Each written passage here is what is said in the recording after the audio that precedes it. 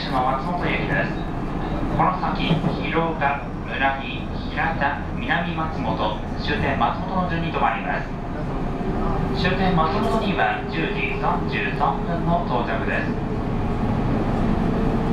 列車は2両編成で運転をしております。お手洗いは2両目前寄りにございます。この列車のドアは押しボタン式です。各駅降りの際ドア横にあります。開けるボタンを押してお降りください。はスマートフォンをお持ちのお客様にお願いいたします。